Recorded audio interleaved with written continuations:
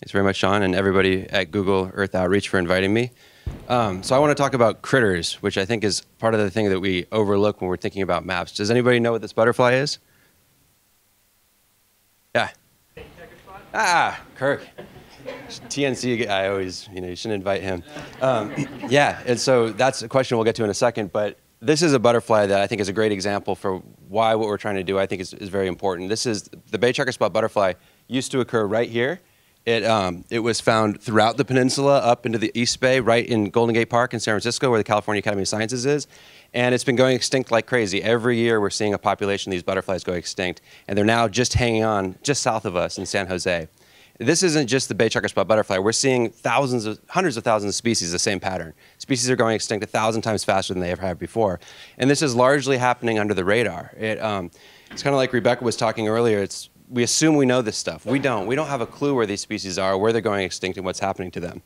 And the problem is almost worse than that. Not only do we not have the data, nobody cares. There's so much nature apathy out there that we could have done something to prevent this butterfly going extinct if we had had the the grassroots support to do something about it. It was again, like Rebecca was saying, showing people the, um, the logging threat in their backyards. P if people know they can do something proactive, they might. So those are our two questions, is how do we get the kind of data that we need and how do we get people engaged and excited? That's the problem we're trying to solve with iNaturalist. Um, when Rebecca was talking about all the stuff with uh, uh, Google Earth, I mean, that was, for me, that's what really got me interested in this with iNaturalist. It was the first time I saw Google Earth, that you could zoom in and see your house and then you could zoom back out and see the planet. And just that connection of scales is so exciting. But again, we're not getting the butterflies, we're not getting the lizards, we're not getting the little critters that, are, that we care so much about in this landscape. and if we're not going to do it with satellites, what's the tool we're going to use? Well, with iNaturalist, we're just using people outside with their mobile phones. We're trying to grow a big um, global community of naturalists who are working together, teaching each other about nature, and scaling this problem so that we can have biodiversity as a player that can come to the table with the land cover community, the carbon community, the water community. So just to quickly show you how this works, this was a conference that was here in San Jose a couple months ago, and everybody was in that building in the convention center. And we said, hey, come out to this little park. This is called Discovery Meadow, some of you might know. It's sandwiched between two freeways. It's got a little creek running through it. And we said, we're all going to whip out iNaturalist and take as many observations as we can. So in three hours, we had 51 people walked over there, and they took 817 observations, which turned out to be 148 species in that little postage stamp. But what's cool is, well, anybody can observe.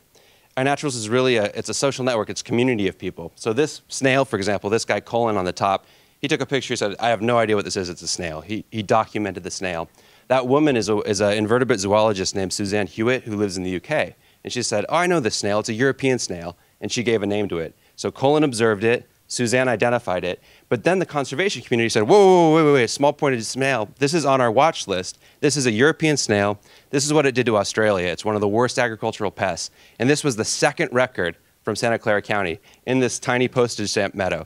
So that connection of people exploring their backyards, connecting with experts, naturalists, scientists who can actually tell them what these things are, and then connecting with the conservation community, say, hey, we can do something about this, this, this um, information. So this is the map I wanted to present. This is all of iNaturalist observations. Um, there's 1.9 million so far. We'll hit 2 million by the end of the year. Um, so if you zoom into the Bay Area, for example, you get like these, each of these is a little observation. So I think I can go. Yeah, so here we are. We're right here um, down at Google. And this is, if you look right out, there's this incredible baylands right here. So you can see a lot of bird watchers and people like to go around and, and see things. So I can click on a, and click on these, and each one of these is a, should be clickable. Um, there's a little Bewick's wren. Let's see what else I got here. Whoops. Um, yeah, so there's a Russian thistle. And what's cool is, again, every map on the site is a Google map. And you can, it's all connected. You can zoom out and really see that kind of same Google Earth thing where you can see how the entire world is, is made up of these little observations. Um, so again, we Google's been incredibly helpful to us, Google Earth Outreach. Our first collaboration was a, was a collaboration with Save the Redwoods League and, um, uh, and Google working on this kind of thing for redwoods. Our first Android app was, was supported by Google Earth Outreach, so it's just been really cool to have this kind of collaboration. Um, getting back here. Turn to full screen. Um, so what I wanted to quickly say um, is what's really neat about this data is once this data gets verified by scientists, it becomes what we call research quality data, meaning that this data goes into the uh, scientific databases that scientists use to um, do, do research on these kind of critters and conservation. I'm sure many of you have seen this butterfly. It's called the common buckeye. It's a very common bu butterfly here. This is everything we know about this butterfly from the Global Biodiversity Information Facility. But what's really, really cool about this is 60% of the stuff is from iNaturalist. So we're getting 66% of everything we know about that butterfly from iNaturalist. But what's cooler than that is within the last 10 years, it's over 80%. So for literally thousands of species, the real time, kind of like Rebecca was saying, the real time information, not the historical museum stuff, which is historically what scientists have had access to, the real time information is increasingly coming from iNaturalist. Um, I just want to point out some of the partners we're working with. Uh, uh, National Geographic, we have this collaboration called the Great Nature Project, which has been a lot of fun. We have a network now of seven countries that have their own instances of iNaturalist. This is the one in Mexico, and they're giving, they got Carlos Slim to give these prizes. Um, the National Park Service, we've been working a ton with, who've been doing um, BioBlitzes, the National Park Centennials this year. There'll be 500 simultaneous iNaturalist BioBlitzes across the Park Service in May this year. And this is a group in, uh, in uh, Madagascar um, working with Kew Botanical Gardens to do um, here, get this map up, to do a um, monitoring of plants in small reserves. And this is just, this is one of the reserves that they visited. I don't even have to put the polygon on the map, but you can see, you know, this is a tiny remnant of forest in a totally deforested area. And this group of Malagasy botanists going out there and actually taking a bunch of observations, I think really complements the kind of data. And what we haven't done so much of in the past, but I'm really excited about to do moving forward, is to try to bring this biodiversity data um, alongside land cover data, all this other data, so we can really start bringing the whole picture together. So we're just playing a small role, which is the biodiversity component, but I think it's, it's an important role, and it's exciting. I'm, I'm really excited this week to learn how we can complement it with these other aspects. Thank you.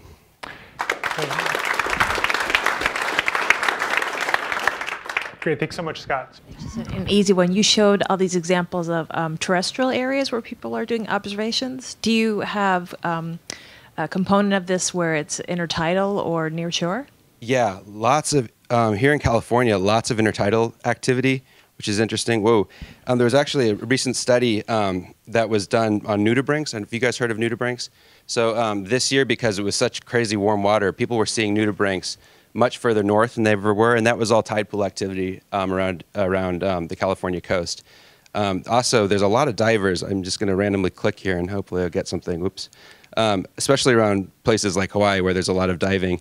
You see a lot of um, snorkelers and things like that. I'm not getting any, but trust me, there's a lot of uh, tropical fish and things, uh, things like that from the diving community who's using this. Of course, they're not using Android apps. They're using cameras, but then they're uploading it onto the web. How many of the species are identified by humans and how many are identified by maybe machine learning algorithms?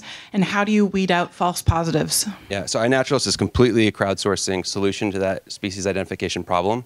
Um, and it's all based on consensus. Um, so we have a lot of interesting algorithms that deal with this idea of how do you come up with strong consensus about what things are. We've been working a lot with machine learning people. One famous one is, I've, I do not know if you guys have heard of Leafsnap out of the Smithsonian, where you take a picture of a leaf and it uses machine learning. So they've been training their algorithms on iNaturalist observations. Um, and again, we're more of a mission than a tool. Like if, if machine learning could do it, let's do that. But we, right now, crowdsourcing is giving us the scale and the answers that we need. I was wondering if you could speak in a little bit more detail about your approach to quality control and quality assessment of the data that's submitted.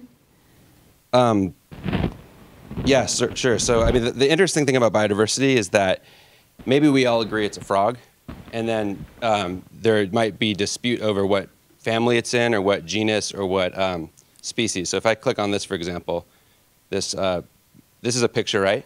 All of us agree it's a bird, right? birds is a class called aves, aves, which is a class of organisms.